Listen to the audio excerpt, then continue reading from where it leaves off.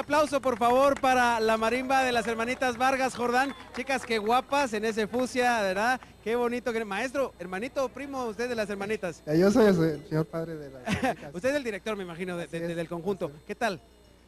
Pues aquí muy contentos de estar celebrando con ustedes ahí el aniversario de este maravilloso programa. Hombre, un placer. Maravillosos ustedes. Gracias por venir. Gracias. Sierra Morena se llamaba esta pieza, Sierra ¿verdad? Morena, pues es. un aplauso más fuerte, por favor, para la marimba, que nuestro instrumento nacional tenía que estar presente en esta nuestra celebración. Se quedan con nosotros, verá otro ratito, por favor, porque es, vale la pena escucharlas más. Gracias por dejarse venir con todo el instrumental. Yo sé que no es tan fácil, pero muchas gracias, de lo apreciamos con todo el corazón. Un aplauso más fuerte, por favor, y vamos de regreso a la sala con los chicos porque hay más de este décimo aniversario de BLM. Muchísimas gracias Alejandro y gracias a esta marimba preciosa. ¿Cuánta gente hay? Lo que pasa es que está como desperdigada. Acá tenemos un grupo de gente adelante del escenario, un grupo atrás, otra frente al palacio. Todo el mundo está aquí celebrando hoy con nosotros y tenemos a una gran persona a la que le debemos mucho, ¿verdad? Porque no Uh, estaríamos acá si no nos hubiera dado la venia y el visto bueno. Don Mario Antonio Sandoval, presidente de nuestro canal, muchísimas gracias por estar acá. Por supuesto que tenía que venir en estos 10 primeros años de Viva la Mañana. Sí, de veras son los 10 primeros que se han pasado como suspiro, ¿verdad? Parece increíble que ya lo estemos celebrando y que nos hayamos hecho todos un poquito menos jóvenes.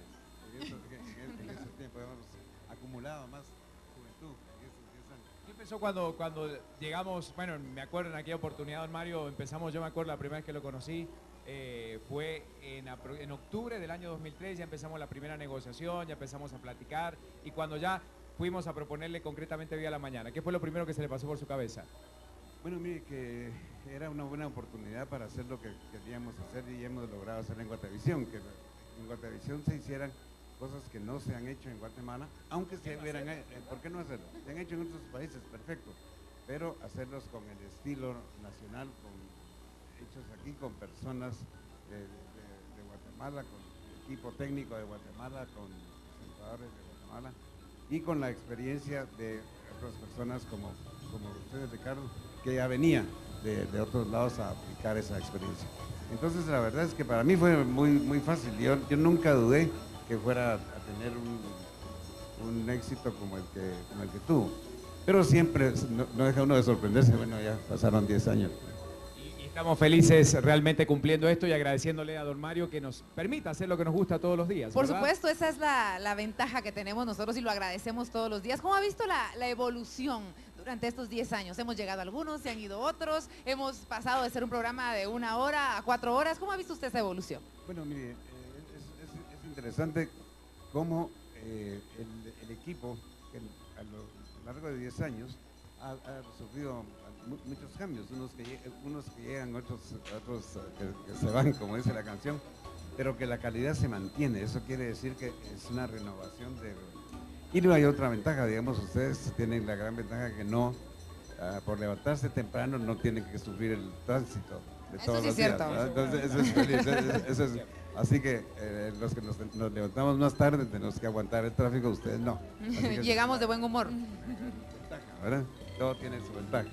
Nosotros muy agradecidos, don Mario, y le agradecemos que haya venido. Recién lo teníamos ahí en unas palabritas en, en- en- una grabación especial que usted hizo para nosotros, pero le agradecemos que haya, haya tenido la gentileza de venir y le deseamos como siempre lo mejor, ¿eh? porque se vienen cosas muy buenas, don Mario.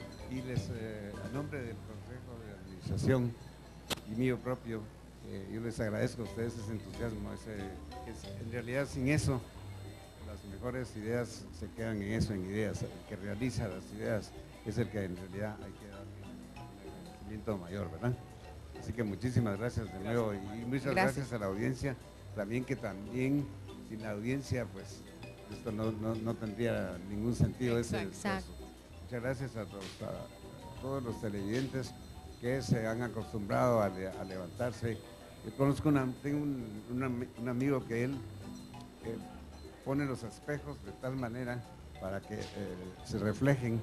Entonces lo que él se está rasurando y se está bañando, está viendo... Y ahí los está viendo el programa. Ah, eso está Muy bueno. creativo, Mira, muy creativo. A, base, a base de espejos, así que... eh, entonces fíjese que... eh, y, la- y las... Mira, ahí tengo en realidad muchas personas que me hablan del...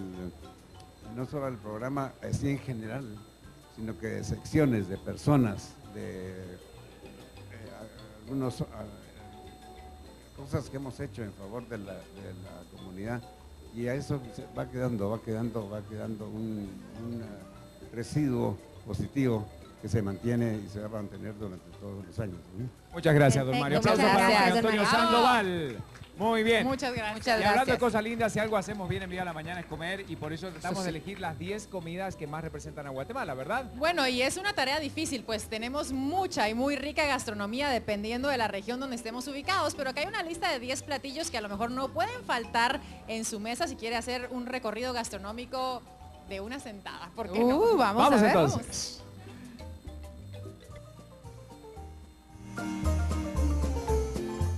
Hablar de gastronomía en Guatemala es hablar de herencia, fusión y mucha historia. Hoy estaremos compartiendo con ustedes 10 platos que no pueden faltar en la mesa de los guatemaltecos.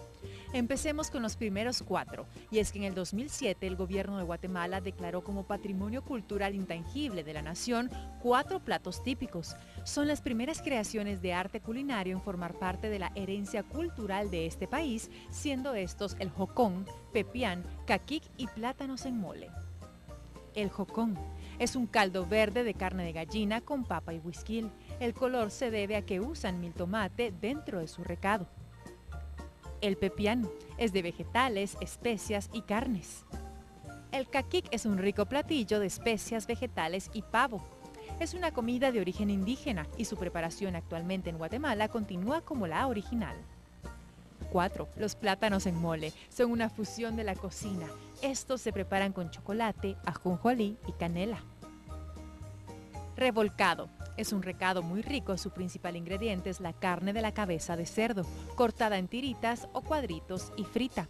Es un platillo muy conocido por toda la población. Desde hace mucho tiempo nuestros ancestros lo preparaban y lo disfrutaban. Es una experiencia deliciosa para nuestro paladar.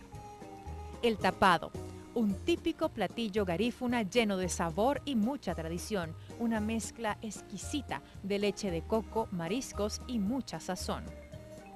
Los tamales no pueden faltar en las celebraciones importantes y en fechas como Navidad.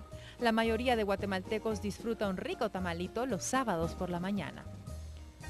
Los frijoles forman parte de la comida y de la dieta de los guatemaltecos. Hay platillos especiales como los frijoles con chicharrón, sazonados con diferentes especias y típicamente se comen con tortilla y arroz cocido. Las enchiladas. Cada familia tiene su propia receta, pero sin duda las enchiladas no pueden faltar en la mesa de los chapines.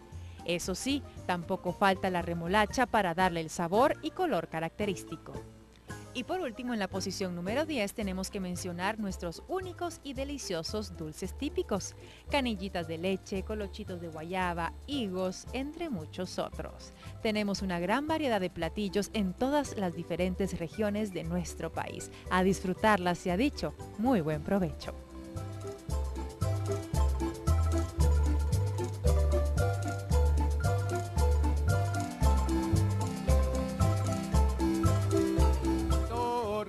Ahí está, muy bien.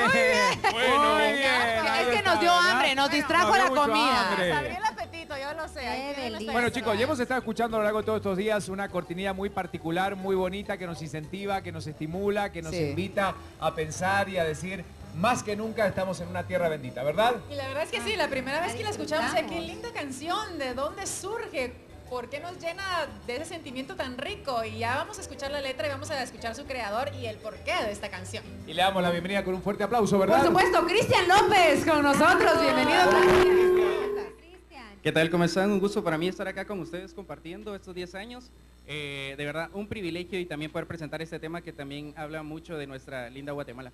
Una canción preciosa, no me digas que no, María. Es una pre- canción preciosísima, nos levanta todas las mañanas. Estos días la empezamos y Claro. tiene un ritmo que yo dije, ¿será Carlos Vives? ¿Quién será que está cantando No, esa no, canción? no, Sí, es es, que nacional. tiene un ritmo de nivel internacional, ¿verdad? Y un claro. sonido espectacular y tu voz también. Y viene con todo. Viene con todo, de verdad, y quería compartirlo también con toda la audiencia en estos 10 años, así que me nos encantaría oírlo, ¿no? Y yo quiero que la gente la escuche y la baile, por